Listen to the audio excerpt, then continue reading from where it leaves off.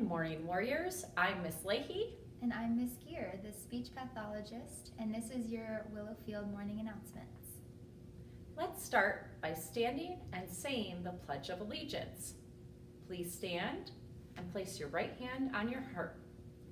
I pledge allegiance to the flag of the United States of America and to the republic for which it stands, one nation, under God, indivisible, with liberty and justice for all. Here is our school pledge. As a member of the Willowfield School family, I am responsible, respectful, caring, and safe. I am ready to learn. I am a mighty warrior. Today is Thursday, September 22nd, and it is an E Day. It is the 11th day of school and the first day of fall. September 22nd is also National Ice Cream Cone Day. Sounds like a perfect day to get an ice cream cone. What is your favorite kind of ice cream? Chocolate for me. Mm. What is mm. yours?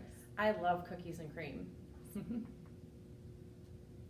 we want to wish a very happy birthday to Khalil Sai in first grade.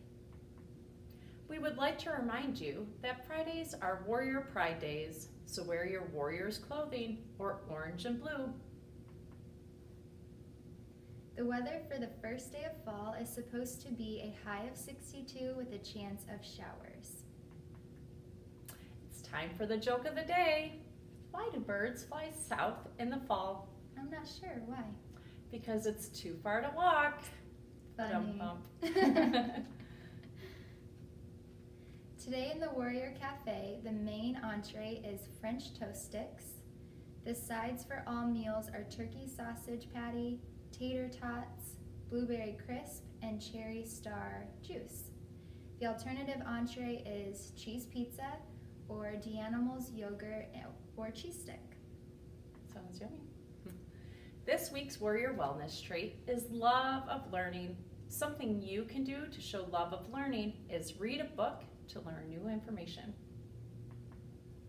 That brings us to the end of our podcast. Remember to be responsible, be respectful, be caring, and be safe. And let's grow together. Thank you for watching and make it a great day.